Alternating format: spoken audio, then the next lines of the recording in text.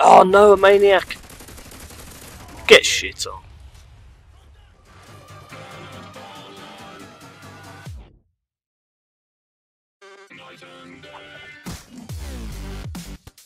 Sup guys, Rob here with the quickest video I've ever done and talked over. So here we go dead quickly. Look at the spawn, Stonehaven, biggest map in Call of Duty history. I die, spawn in front of the guy, kill him.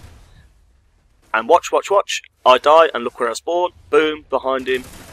Thanks Infinity Ward. How can that happen in the biggest map in Call of Duty history? The mind boggles. Had a better spawn? Had a worse spawn?